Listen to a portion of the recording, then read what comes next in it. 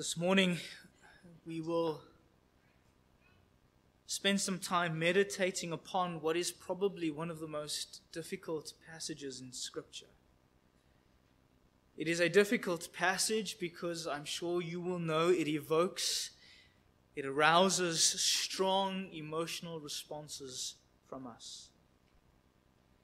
As I prepared this sermon during the week, it wouldn't be a lie to say to you that I prepared this sermon with tears in my own eyes, just because it is so, so challenging. Please turn with me to 2 Samuel in chapter 12. We'll read the whole passage together, and then, by the help of the Holy Spirit, we will seek to draw principles from this passage in order to help us in our times of grief. 2 Samuel chapter 12. And the Lord sent Nathan to David, came to him, and said to him, There were two men in a certain city, the one rich and the other poor. The rich man had very many flocks and herds, but the poor man had nothing but one little ewe lamb which he had bought. And he brought it up and he grew up with him and with his children. And it used to eat of his morsel and drink from his cup and lie in his arms. It was like a daughter to him. Now there came a traveler to the rich man, and he was unwilling to take one of his own flock or herd to prepare for the guest who had come to him. But he took the poor man's lamb and prepared it for the man who had come to him.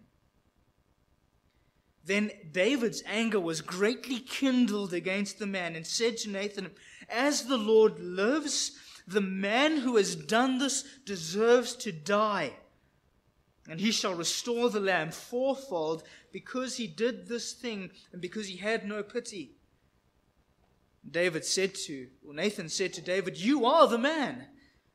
Now, thus says the Lord, the God of Israel, I anointed you king over Israel, and I delivered you out of the hand of Saul, and I gave you your master's house, your master's wives to your arms. I gave you the house of Israel and of Judah. And if this were too little, I would add to you as much more. Why have you despised the word of the Lord to do what is evil in his sight? You have struck down Uriah the Hittite with the sword, and has taken and have taken his wife to be your wife, and have killed him with the sword of the Ammonites. Now therefore, the sword shall never depart from your house, because you have despised me and have taken the wife of Uriah the Hittite to be your wife. Thus says the Lord Behold, I will rise up evil against you out of your own house, and I will take your wives from before your wives and give them to your neighbor, and he shall lie with your wives in the sight of the sun. For you did it secretly, but I will do this thing before all Israel and before the sun. David said to Nathan, I have sinned against the Lord. And Nathan said to David, The Lord has put away your sin, you shall not die. Nevertheless, because by this deed you have utterly scorned the Lord, the child who is born to you shall die. Then Nathan went to his house. And the Lord afflicted the child that Uriah's wife bore to David, and he became sick. David therefore sought to the Lord on behalf of the child, and David fasted and went in and lay all night on the ground. And the elders of his house stood beside him to uh, raise him from the ground, but he would not, nor did he eat food with them.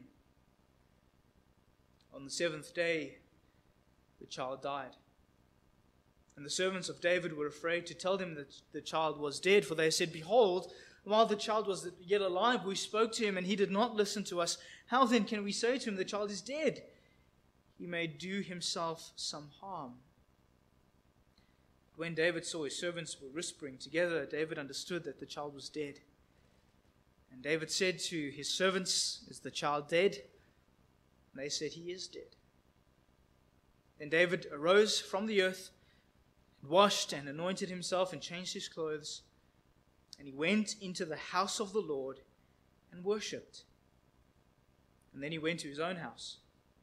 And when they asked, they and when he asked, they, they set food before him, and he ate. When the servants said to him, What is this thing you have done? You fasted and wept for the child while he was alive, but when the child died, you arose and ate food.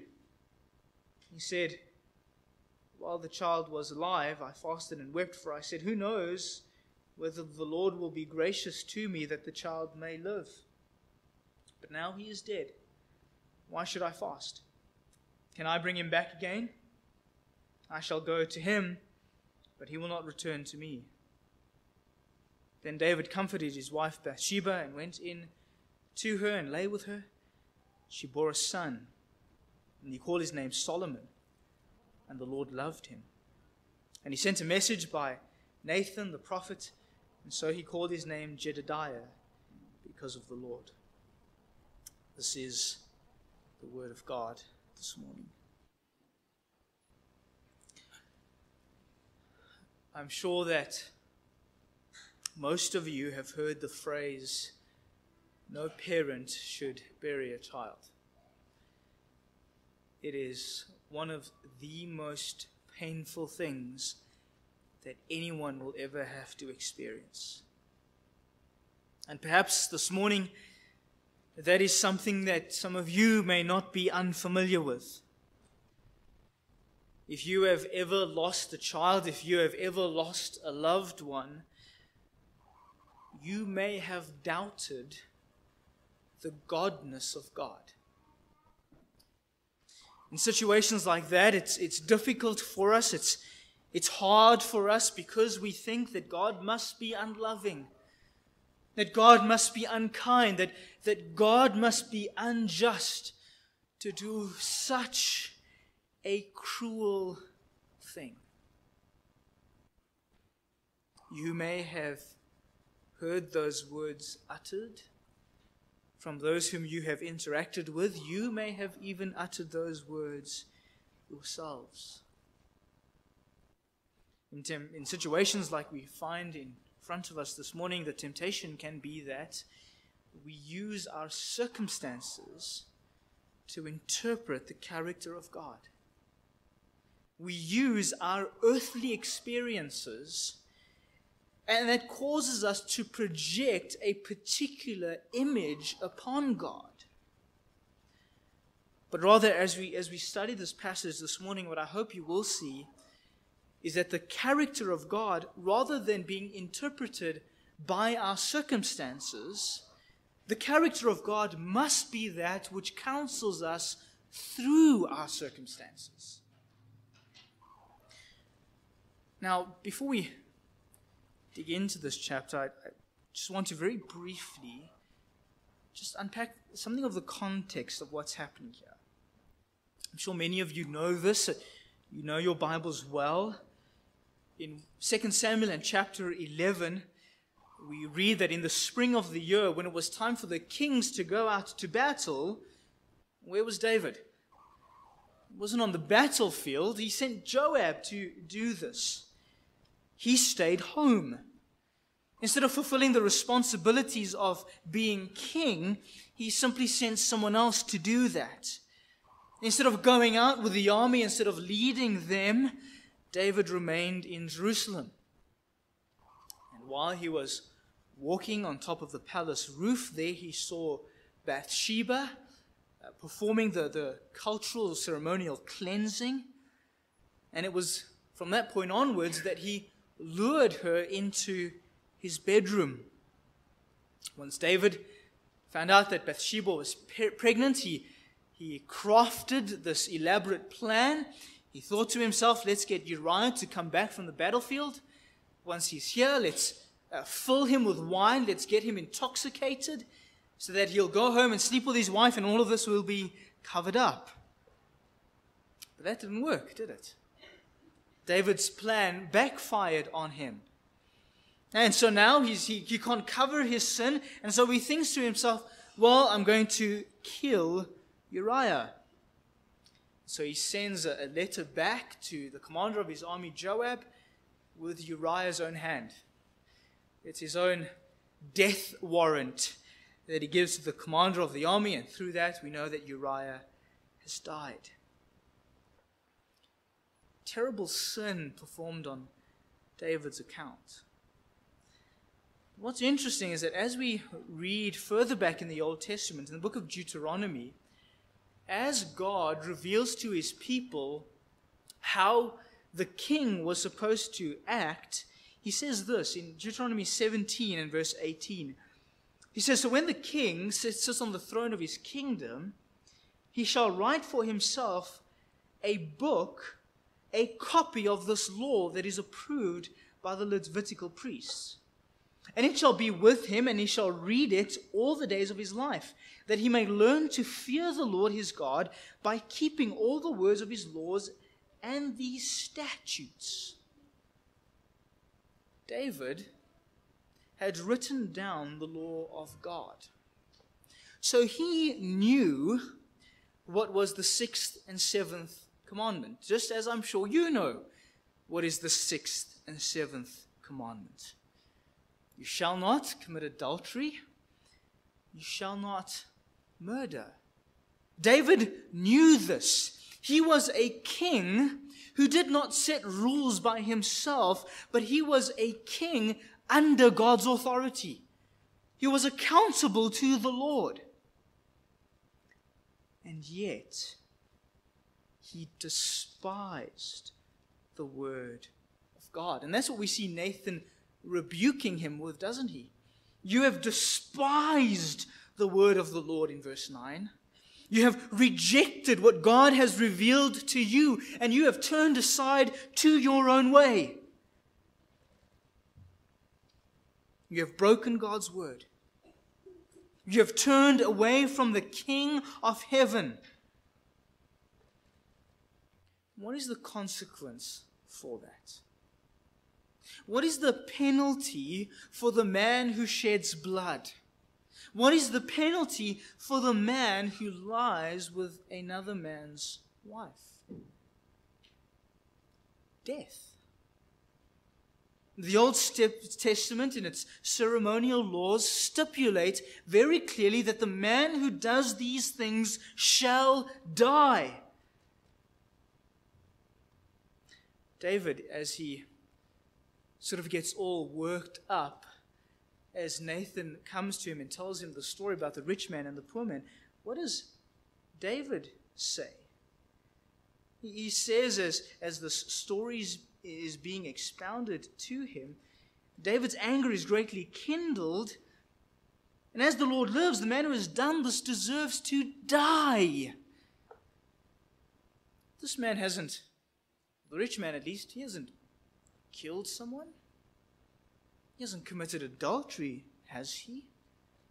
He's stolen someone else's lamb, and yet David feels such a deep sense of injustice because of this. How much more so does David himself deserve that punishment upon his life? And yet, this is the very conundrum that bothers us about this passage. Because in verse 13, as David is confronted with his sin, we find no elaborate confession. David says to Nathan, I've sinned against the Lord. And Nathan says to David, The Lord has also put away your sin. David, the one who is guilty, the one who deserves to die, does not receive the, the punishment that is his. The, the man who has broken the law of God, the man who is guilty of violating God's command, the sentence is lifted off his head. Yet this child who has done nothing is killed. Why? Isn't that unjust? Isn't God so cruel that Nathan would simply say a few words and then his sin is forgiven? And yet, this child dies. So, the first point that I want to unpack with you this morning is grievance in the midst of grief. Grievance in the midst of grief. From our vantage point, the character of God seems irreconcilable with our expectation of Him. If God is good, if God is kind and merciful and gracious and loving and steadfastly uh, kind,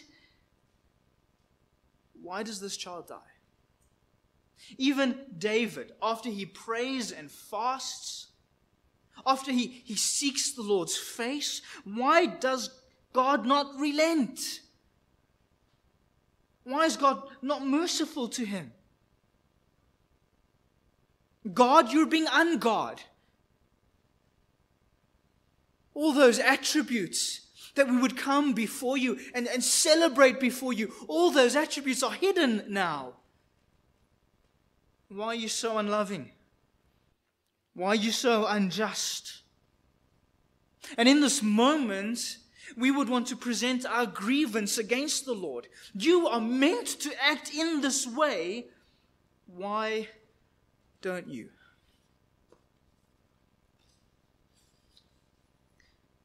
Such a grievance is not just restricted to the death of a child, is it? Those of you who have lost loved ones, this may have been your experience when you've been wrestling through the death of a spouse, death of an uncle, Perhaps as you wrestled through some of your circumstances, as you've battled through moments like this in your life, you would want to lay the same grievance before God. In your experience, you might have had someone who was mistreated in hospital. I was thinking about Adrian Nathaniel, the pastor of Northmead Baptist. Simply went in for a, a small procedure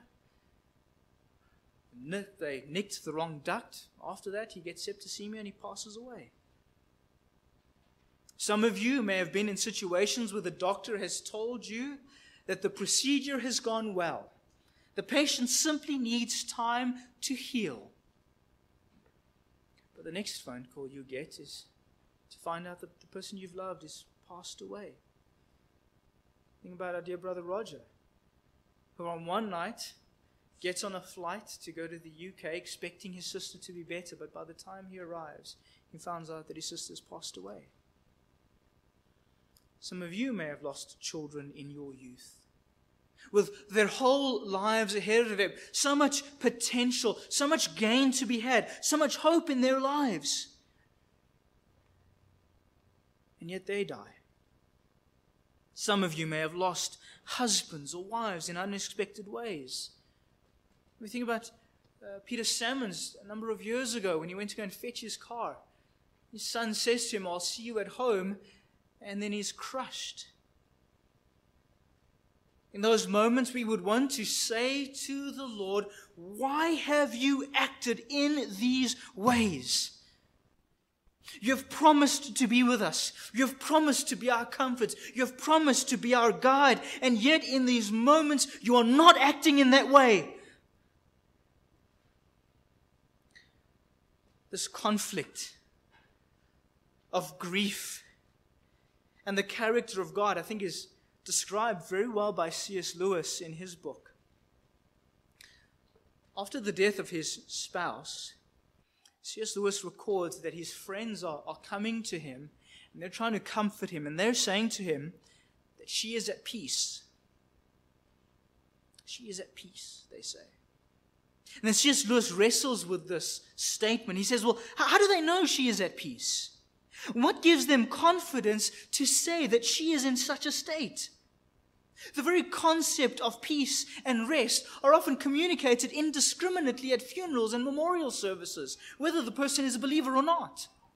How can they say to me that she is at peace? Well, because they are in the hands of God, they say, or she is in the hands of God, they say. But C.S. Lewis doesn't like that answer. He says, well, if that's true, was she not in God's hands all the time? If God is meant to be good to us now and kind to us now and loving to us now, and yet she has been taken away by cancer, what gives me confidence to think that she will be better on the other side of the grave? He says this Do his hands suddenly become gentler to us the moment we are out of the body? For in the only life we know, he hurts us beyond our fears and beyond that all that we can imagine. Then he may hurt us after death as unendurably as he did before.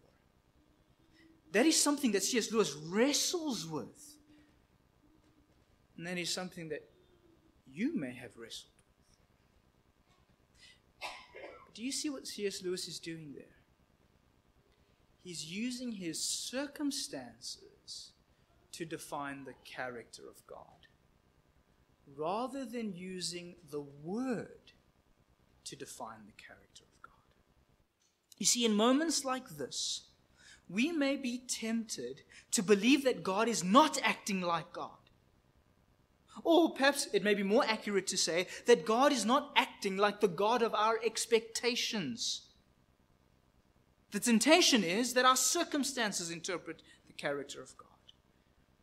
Rather, as I said before, the character of God, as He has revealed through His Word, it is that which must give us comfort as we experience grief.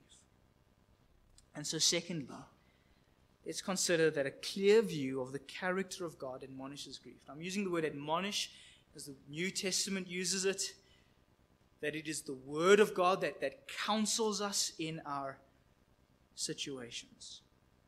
Let's go back to what's going on here in, in 2 Samuel chapter 2, chapter 12. In this moment, and, and I think we need to appreciate this, in this moment, David is experiencing a compendium of emotions. At first, David experienced guilt and shame and humiliation because of his sin. He's convicted. His heart is cut up as Nathan the prophet confronts him. But then it moves from guilt and shame and conviction to relief and comfort and peace, knowing that his sin has been forgiven. But then it moves back to anxiety and fear because Nathan has declared that this child will die. But what keeps in this narrative hatred and animosity away? Why is that not one of the emotions that we see here? We see shame and humility and guilt. We see peace and comfort. We see fear and anxiety, but not anger, not animosity towards God. Why? The reason, and we'll unpack this, I believe, is because David has a clear view about the character of God. What we see David doing here is a response to what God has revealed in His Word. Instead of anger or resentment, David entrusts himself to God. We see that in verse 22, don't we? So the servants are quite confused about David's actions. You know, why are you fasting and praying while the child was alive, but now that he's dead, you don't do those things? Here's David's reasoning. Well, he says in verse 22 while the child was still alive, I fasted and wept, for I said, Who knows whether the Lord will be gracious to me that the child may live? David here is acknowledging that God is a gracious God. But God's grace is not owed to us. His mercy is not a guarantee to us. Now, let's go a little bit further.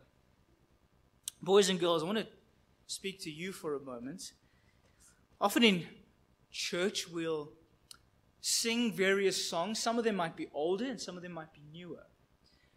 I want to draw your attention to the last song that we sung this morning. That song, It Is Well With My Soul. Now, with older songs, one of the beauty, one of the beauties of that song is the context behind the words. That hymn, Boys and Girls, was written by a man called Horatio Spafford. Now, Horatio Spafford was a man who lived in the United States, and he had quite a lot of properties, and he was quite a successful businessman. But he lived in a time when there was a great fire in the city, and quite a lot of his properties burnt down. And so they thought it was best as a family to relocate to the United Kingdom. But Horatio needed to stay at home in order to finish up the family affairs. And so he sent his wife and his daughters on a ship to go to the UK.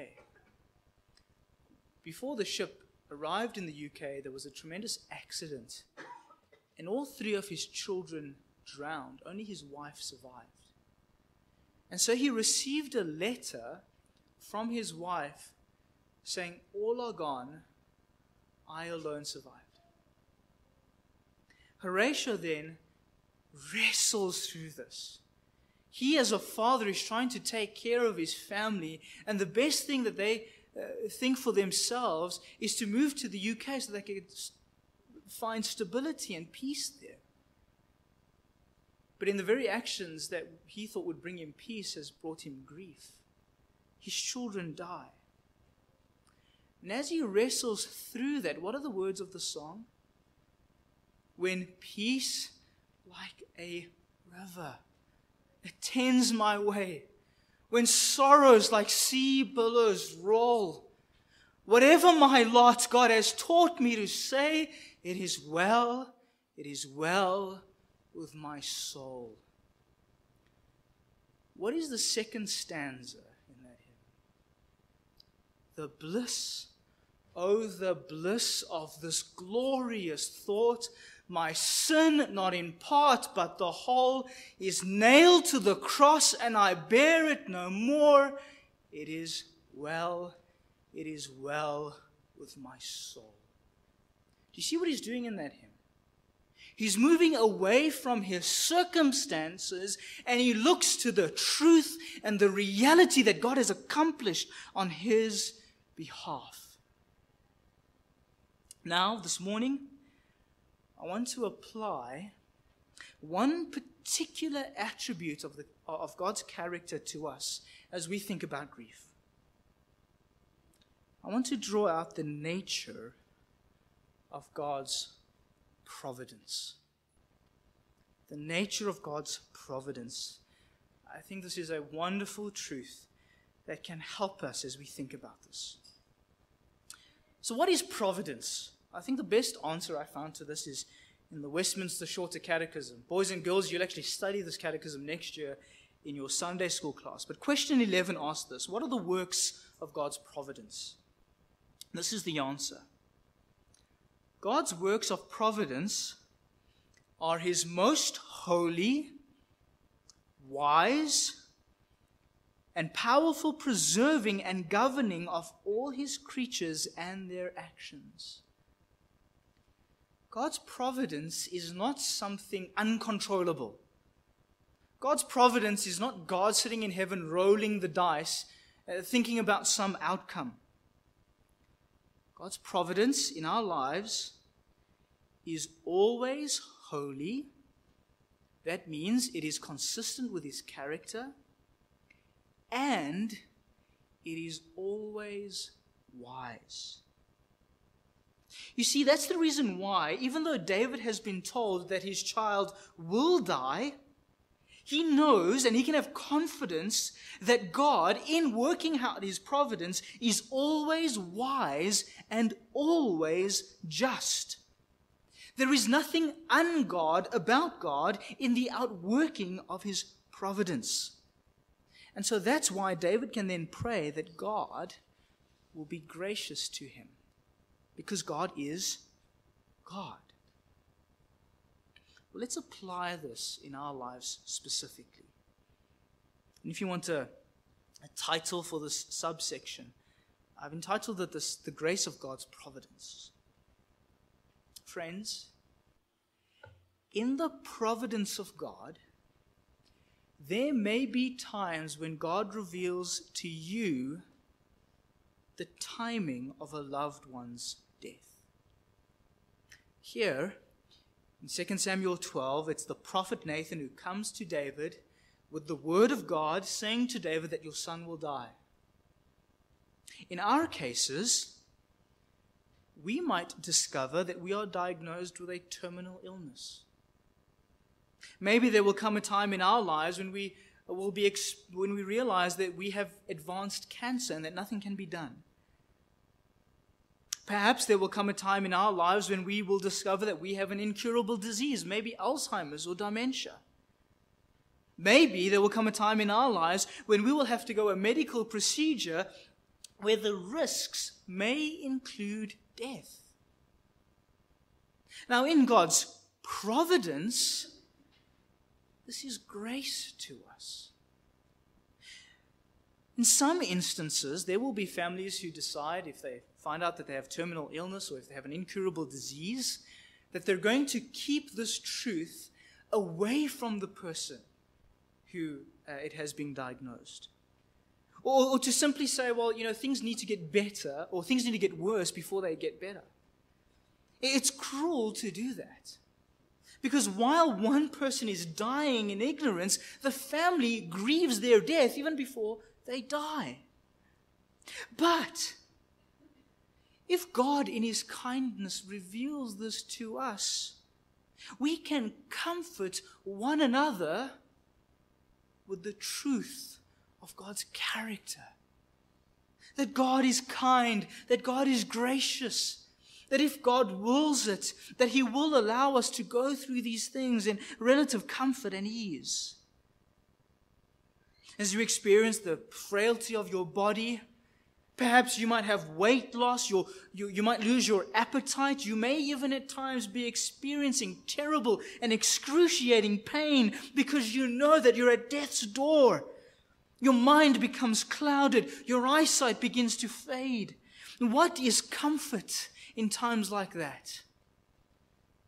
Is it not that even in moments like these, that God is God?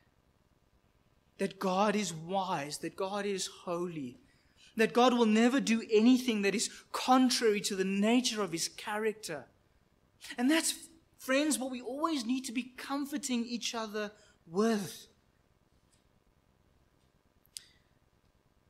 Just before Richard Olfson passed away, and you, some of you might remember this, at our evening service, one of the things that I prayed was this Lord, please restore his strength. Or, Lord, help us to usher him into glory. How wonderful it would be for us if in our families or amongst our friends, God in his grace revealed to us the timing of death, that we would be in a position to usher those whom we loved to the very gates and threshold of heaven and then commit them into the Lord's hands. Sometimes there may have been some of you who wish that you had one more moment to spend with your loved ones. One last moment to have a hug or say how much that person meant to you.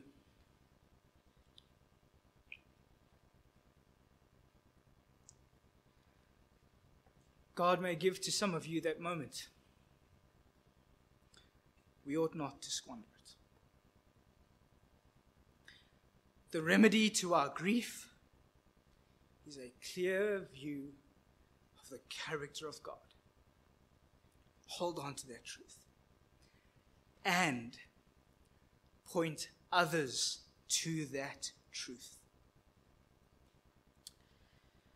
Now, for a moment, I do want to pause because there is an inevitable question that we need to answer about this passage. I questioned whether or not I should even include this, but I think for the sake of, of dealing with the text, we must.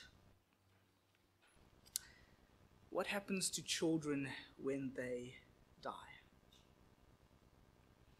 What happens to those who are aborted, those who only live for a few days, a few months, and then the Lord calls them home? How do we deal with that from a passage like this?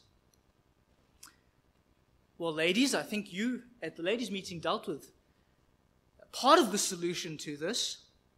You might have heard yesterday that there are some passages in Scripture that are descriptive, and there are other passages in Scripture that are prescriptive.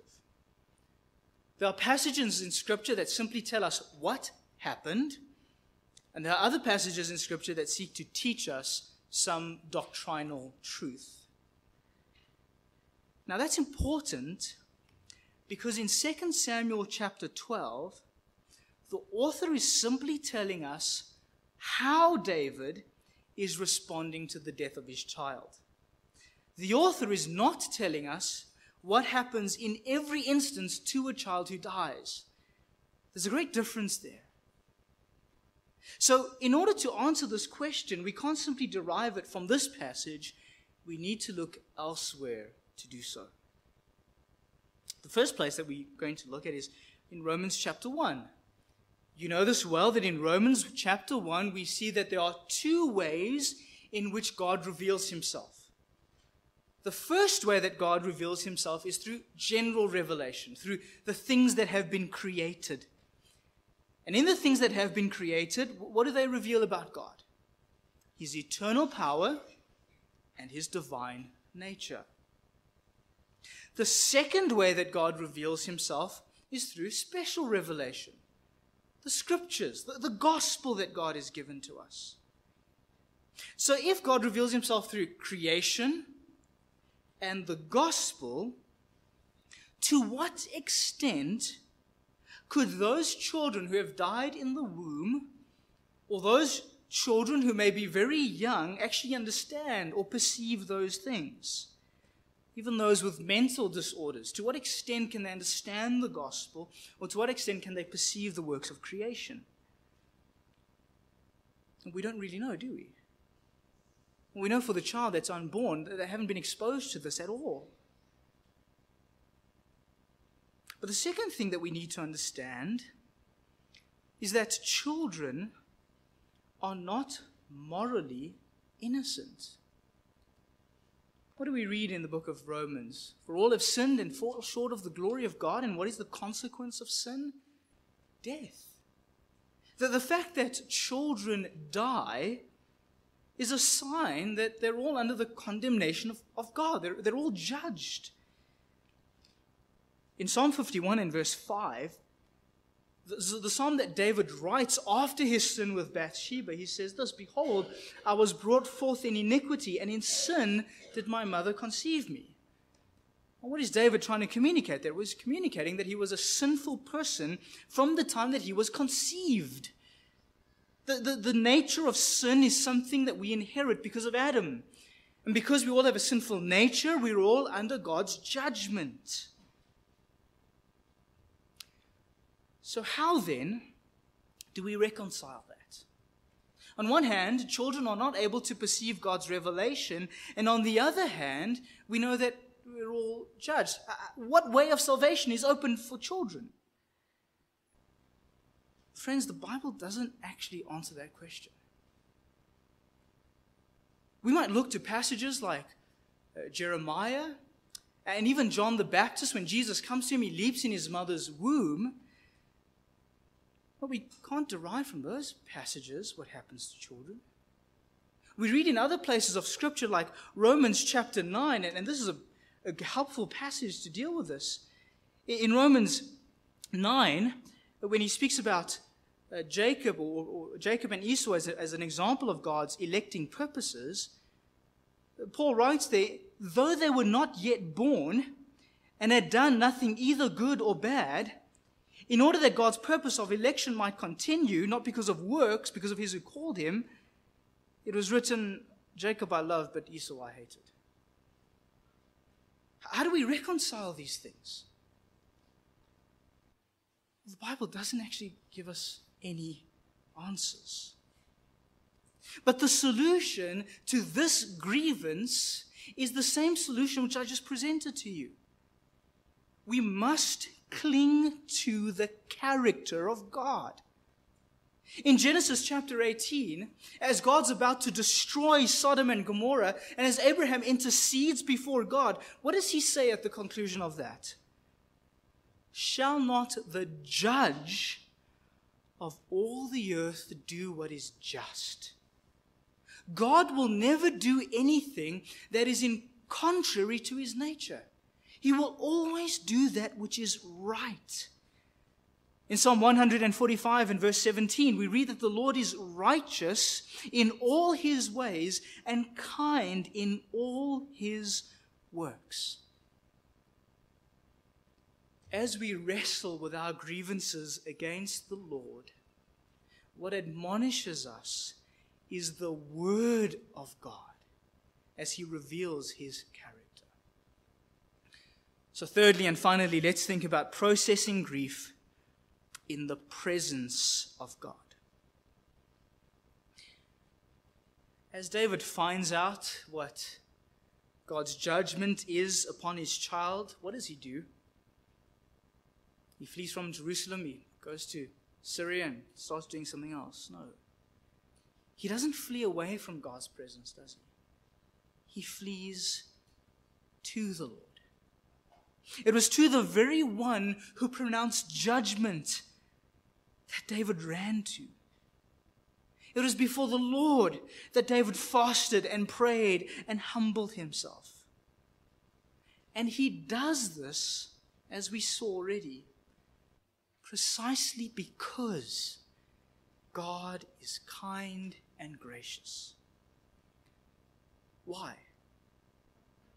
Because we saw earlier, didn't we, that David is the one who's guilty. David is the one who must die. He's the one who needs to face the penalty. He has broken God's law, he has violated God's commands. He's the one who deserves death. And yet the Lord extends mercy to David. The Lord forgives David of his sin. And when David confesses his sin, I think it's such a wonderful example for us that, that confessing our sin and repentance doesn't need to be this long, drawn out thing with pages and pages of prayers. David just acknowledges his sin before the Lord. There might be some of you here today who don't know the Lord, and you might think to yourself, well, in order to be made right with Him, I need to do this, and I need to do that, and I need to do the next thing. Well, David simply says, I have sinned against the Lord. And He's forgiven.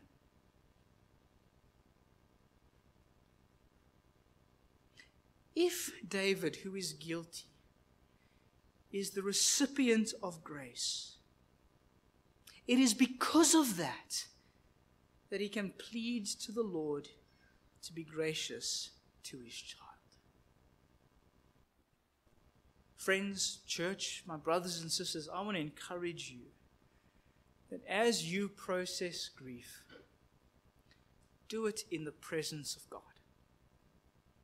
Do it in the presence of God by yourself, as you're alone in your room, in the, in the quiet that you experience but do it with God in the presence of your brothers and sisters in Christ. As we come together and as we point one another to the Lord. David gives himself to prayer. He gives himself to prayer in the presence of the elders of his home. He commits to communion with God. So while prayer might be one of the hardest things to do in grief, it is a vital thing to do in grief. Secondly, worship. The loss of a child can be an excruciating experience. And for those of you who've experienced something like that, I don't want to presume what that looks like. It is tremendously painful beyond what words can articulate. And in those moments, as I shared with you, we may become angry, we may become fearful, we may doubt the goodness of God. And even though we might want to present a balanced facade before others, there may even be a seed of anger within our hearts. I have heard of instances where after people have lost children that they've turned to ungodly forms of counsel. Whether it's been drug abuse or alcohol abuse, maybe they've sought sympathy from others in inappropriate ways. But if we are genuinely converted and if the fruit of the Spirit is evidenced in us, what does David do? He arose and he went to the house of the Lord and he worshipped God. How can he do that? How, how can David, after experiencing all that he has experienced, go to the very presence of God and perhaps sing song to him like we do? Well, it is because while God judges sin, while God forgives sin, while God in His providence may not answer our prayers, He is still God. And that's why it's so wonderful for me as, as I go through this series and even as I experienced the loss of my father last year to be with God's people. Because as you're singing next to me, as my throat uh, gets a frog in it, and as, as my eyes tear up, you're singing and you're encouraging me. You're, you're helping me to look to the Lord because He is my comfort. He is my hope. He is the one whom I trust to return. And then in a moment, a few weeks down the line, as your throat is choked up, and as you begin to tear, I'll sing next to you, and I'll help you to look to the Lord. I want to conclude, but I realize that my conclusion might be another point. As we wrestle through this passage, we inevitably ask ourselves, why didn't God spare this child? That's a question I have. That's a question you might have. Why didn't God spare my loved one? Why didn't God spare my child? Why? What is the reason for this? But as I studied this passage, one of the things that I realized that what's at stake here is not simply the life of a child, but the reliability of God's word. Have a look at verse 14 again. Nathan says to David, because by this deed you have utterly scorned the Lord, the child who is born to you shall die. Is that a conditional statement or an unconditional statement? You see, Nathan doesn't say to David, unless you repent, the child will die. Or if you do something that, that, that, that exposes your sin, the child will die. Nathan simply says the child will die. It's unconditional. There is a sense in which God has spoken and nothing can change that. Now, there are passages in Scripture that are conditional, as we read of in Isaiah, as God exposes um, the nation's sin to them. Uh, one of the things that he says as he begins to call them to repentance uh, is in verse later on in, in the passage, he says in verse 18, Come now, let us reason together. Though your sins are like scarlet, they shall be as white as snow. Though they are red like crimson, they shall become white as wool. What's the transition there? Well, it's repentance. It's conditional. Though you have sinned, you will be forgiven if you repent. And that's the principle. Is a conditional, uh, it's an unconditional statement. God has spoken. He will not change his mind. Now, go back in your Bibles to 1 Sam, or 2 Samuel chapter 7. 2 Samuel chapter 7, and I just want to read from verse 12 to verse 16. This is God's covenant with David. He says to him, When your days are fulfilled and you lie down with your fathers, I will raise up your offspring after you, who shall come from your body, and I will establish his kingdom. He shall build a house for my name, and I will establish his the, the, the, sorry, I will establish the throne of his kingdom forever. And I will be to him a father, and he shall be to me a son. When he commits iniquity, I will discipline him with the rod of men, with the stripes of the sons of men.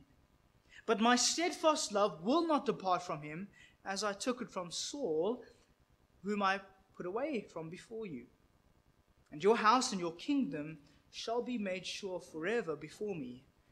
Your throne shall be established forever. So, same question Is that a conditional promise or an unconditional promise? What's an unconditional promise, isn't it? God is saying to David, I will do this regardless of how you respond. And so, if God had relented from following through with his word with David's child, could God be trustworthy when it comes to his promise to David in 2 Samuel chapter 7? If we cannot trust God on one account of his revelation, can we trust him on any at all? Now, as we come to an end, I want to draw out one more thing from this passage. Who is this passage in 2 Samuel chapter 7 speaking about? Is it speaking about Solomon, perhaps one of the other kings that comes from David? Is it speaking about one of the kings that reigned in Israel during the time that the nation was split to the northern tribes and the southern tribes? No. Second Samuel 7 is speaking about Jesus. It's speaking about God whom will send his son into this world to take sin upon himself. In 2 Samuel chapter 12, we read the record of a child who dies and we don't even know that child's name. Yet when God speaks about Christ, he says in Isaiah 9, For to us a child is born, to us a son is given, and the government shall be upon his shoulders, and his name shall be called Wonderful Counselor, Mighty God, Everlasting Father, and Prince of Peace. In Ephesians, sorry, in, in Philippians chapter 2, we read that at the name of Jesus, every knee should bow in heaven and on earth and under the earth, and every tongue confess that Jesus Christ is Lord. So while this passage would be a passage that speaks of tremendous grief, it's also a passage that helps us to prepare for the incarnation of Christ the one who is our living hope, the one who takes away our sin, the one who makes us as pure as wool and as white as snow. And friends, I trust that this is the Son of God whom you are looking to to help you in your moments of grief. Well, let's pray together, and I just in the next few moments just quietly reflect on what the Lord may have spoken to you about, and then I will close.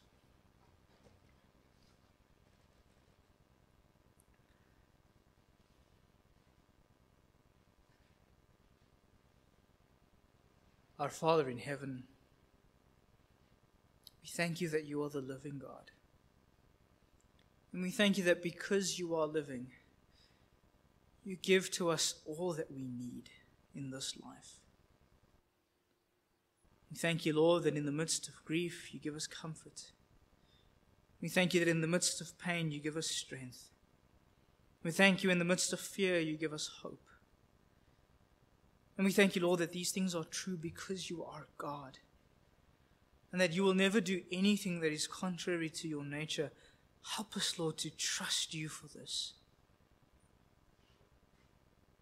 Lord, as we make our way through this series on grief, and perhaps as there's old wounds that have been opened, perhaps as there are for some wounds that are still healing, we pray, Lord, that your word and your spirit would grant to so many amongst us a sense of great care and a sense of great comfort as they look to you as their God.